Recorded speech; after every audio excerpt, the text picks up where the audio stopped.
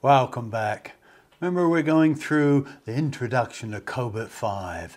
And we've gone through what COBIT 5 has and the elements of the principles and the enablers. We've gone through implementation. Now we're going to look at the assessment program. This is the new to COBIT 5. We'll go through in this and you'll learn all about the pieces of the assessment program, how it all fits together, what the steps are, what the, the core functionality is of capability assessment. You'll learn about the types of assessments that are available. There's three classes of assessment.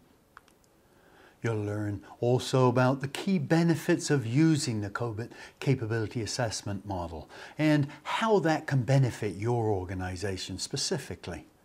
We'll also learn about roles and classes of assessment and who's involved in the certification process. And finally, we'll look at the assessment model dimensions. So, what is the new COBIT assessment program? It includes three distinct books. The COBIT Process Assessment Model, the PAM, using COBIT 5, but there is a version using COBIT 4.1. Remember I mentioned earlier, you can do capability assessments regardless of which version of COBIT you happen to be using. So the process assessment model is the first main document, and then there's a COBIT assessor guide.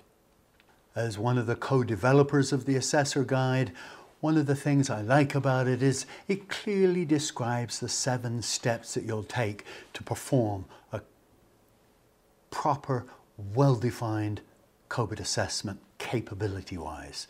And again, using COBIT 5 or another version using COBIT 4.1. And finally, the third is a self-assessment guide.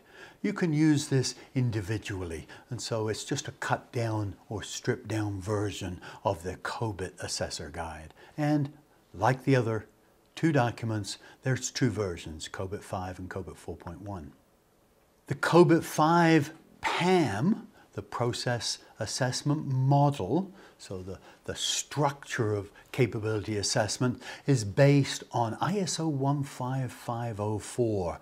This is the compliant how do I do process assessments from an ISO perspective? And that's the big change here. It's not CMMI based anymore. It's using an ISO model for process capability assessments.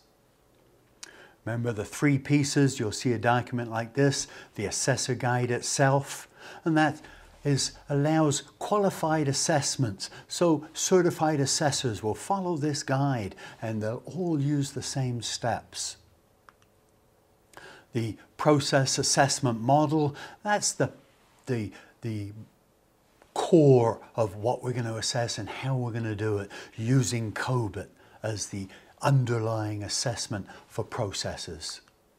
So that's what enables us to base that process capability and the reference model that we're using, of course, is COBIT. And finally, the self-assessment guide and that's what anyone can use to do. It's less rigorous, so we don't demand you have evidence, for example, and you don't have to be a accredited assessor to do assessments. This is a good way for you in your business to do a capability assessment and maybe prepare for a more rigid assessment to follow. The capability assessment program is an evidence-based program.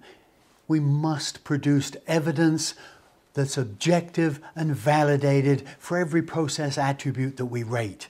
And that rating scale is based off of ISO 15504. And so it's got a structure to it. It's not just a high, low, or medium, or some sort of uh, subjective measure. We'll see that it's got its own measure.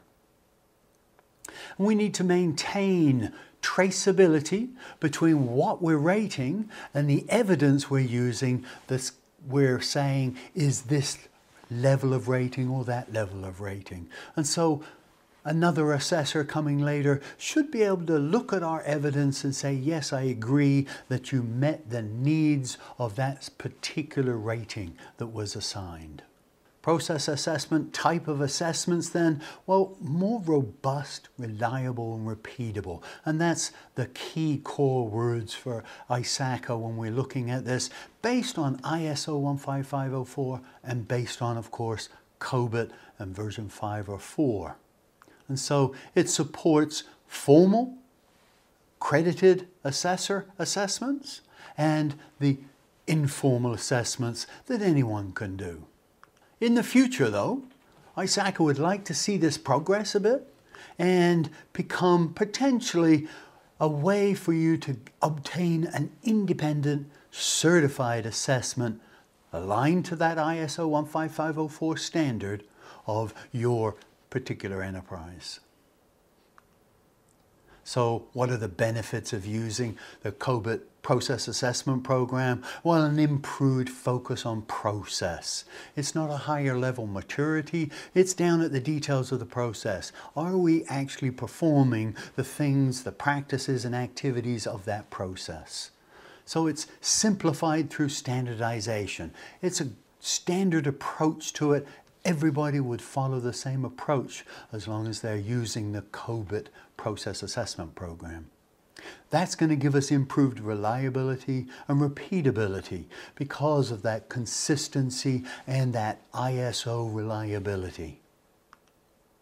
And finally, it's going to give us compliance with generally accepted high-level international standard, ISO, remember, ISO 15504. And so increased usability of capability assessment results will come out of that because you're going to be able to say, listen, this is COBIT, it's a worldwide framework for governance, and ISO 15504 is a worldwide capability assessment methodology. We've put the two together, and that's going to give us increased usability. There's three classes you could have of assessments. I wouldn't worry too much about these in the initial phases as we're starting out, but the most formal is class one, and then the less formal would be class three, all requiring certified assessors. So there's a specific assessor requirements, the specific evidential requirements for each class, and naturally there's a sort of a high level purpose assigned to each class. Most would start in that sort of gap analysis, where am I now, class three level, and perhaps as time goes by would focus more and try and get more formalized into a class two and a class one. There's a number of roles that are specific to this assessment program. A lead assessor, so the, the person who would follow and, and make sure that the sponsor is committed to doing this work and that it's conducted in accordance to the methodology put forward and that everybody knows what they're doing, etc. That's the lead assessor, an experienced assessor.